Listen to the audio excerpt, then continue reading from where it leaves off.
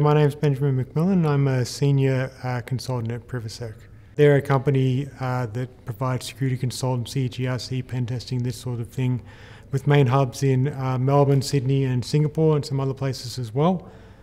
Um, so my uh, job role or day-to-day role would be pen testing, security consultancy, and that, everything that goes along with that. Today, my presentation was about uh, the benefits of uh, infrastructure as code for adversary simulation and how that uh, red team engagements in the future uh, need to tailor their exercises uh, to specific threats and as such the infrastructure as well also needs to be tailored to that.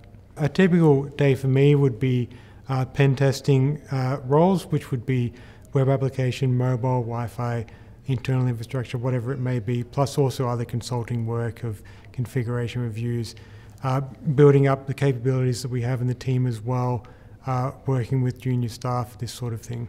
The best part of my day is, well, I'm an offensive security generalist, so hacking things is always fun, finding things uh, that no one's seen before is always fun. Uh, worst part of my day would be uh, it's, it's a very fast-paced environment, so bouncing around between being a specialist in, uh, say, one thing like web application, uh, immediately to something else like a cloud security review, it can be difficult to switch gears like that. So I ended up in security purely by chance. Um, I actually did uh, psychology at university, which has nothing to do with uh, computers.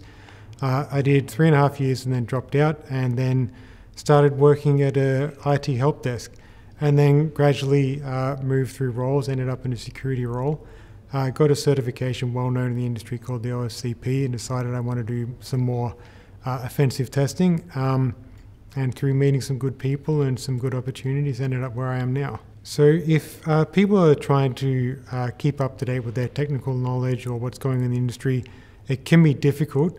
Um, and it's not something that you can do overnight. You should accumulate your resources of information and people that you follow over time try to see if there's um, some uh, local free meetups or conferences that you can go to. You'll find there's monthly events such as uh, Sec Talks, which happens all around uh, the country, uh, that you can go to.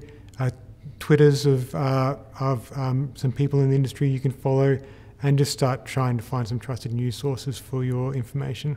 If someone was thinking about entering the industry, I would say um, start building up your resume, I guess, with uh, trying to hack things. There's plenty of uh, uh, hack boxes out there, just test boxes that you can hack on, uh, and they are definitely have, they definitely have value in them.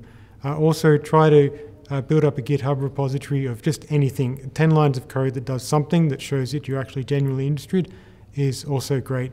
And just try reach out to people um, in the community because if you ask someone like me, to uh, talk about their job. Uh, we'll talk all day about what we like doing and what we like hacking and these sorts of things. So we're freely available to talk to people who want to get into the industry.